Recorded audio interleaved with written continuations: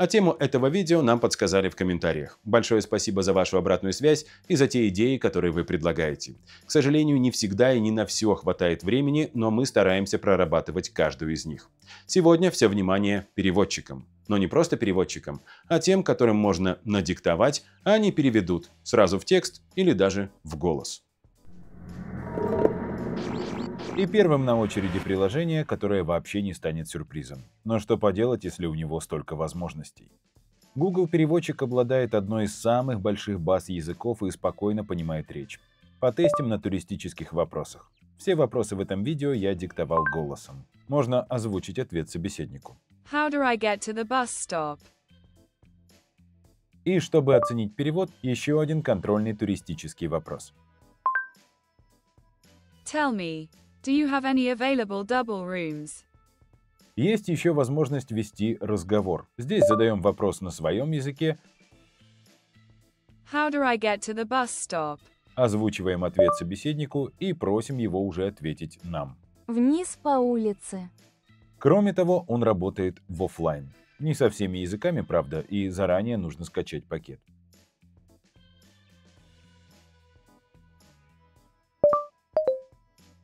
Вот только диктовать в офлайн нельзя.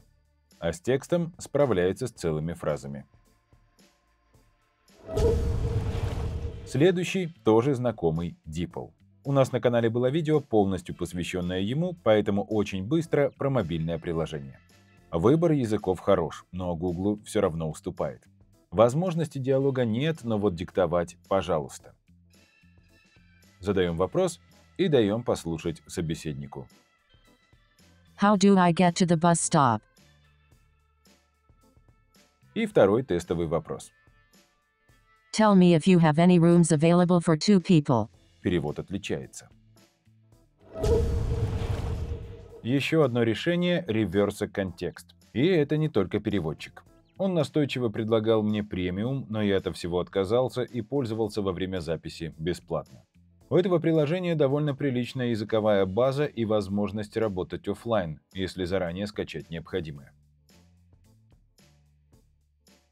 Теперь тестим на привычных вопросах. How to get to the bus stop.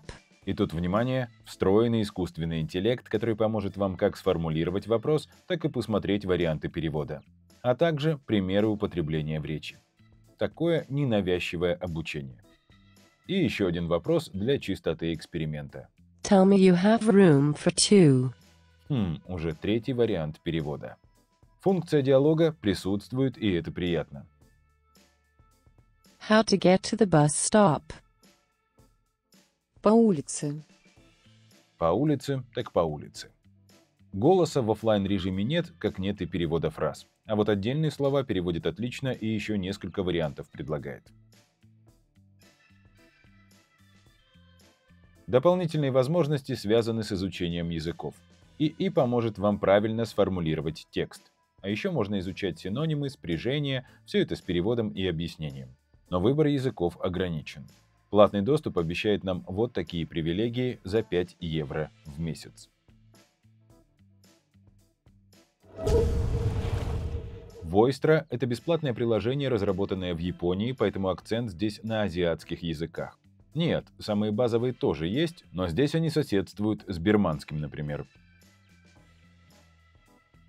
Работает предельно просто. Диктуем. В результатах показывается перевод и примерное значение. Если знаете японский, отпишитесь, пожалуйста, в комментариях, насколько точен перевод, потому что разработчики уверяют, что уделили особое внимание именно точности. Проверим еще на английском. Do you have any rooms available for two? Вот, в принципе, и все. Просто и бесплатно. И еще одно приложение с фокусом на азиатские языки, но родом уже из Южной Кореи. Papago. Оно посложнее предыдущего. Не так много языков на самом деле, но скорее всего оно сделано как раз для корейского. Диктуем стандартный вопрос. 버스 정류장으로 가려면 어떻게 해야 하나요? Есть функция диалога. Без нее уже и приложение вызывает смешанные впечатления. 버스 정류장으로 가려면 어떻게 해야 하나요? Будем считать, что с корейского тоже переводит хорошо. Оффлайн перевод в наличии. Заранее скачиваем базы. Но работает в оффлайн с английским языком. Русский недоступен. Принципиальное отличие – даже в оффлайн это приложение может озвучить фразы. 의사가 필요해. Давайте еще английский потестим. How can I get to the bus stop? По улице. Папа Go не только переводчик, но еще и такой мотиватор к изучению языков. Можно и разговорник посмотреть, и скачать обучающие карточки. 1. 2. 자동차. Учим корейский. Конечно, никто вам не гарантирует абсолютно точного перевода, особенно голосового. Но можно говорить проще, избегать сложных оборотов и витиеватостей. По крайней мере, фразу «как пройти на вокзал» я думаю поймет абсолютно любой носитель. На этом все. Пожалуй, в современном мире самое главное – оставаться людьми. Во всех смыслах. Александр Рыбаков, Теплица социальных технологий. Thank you.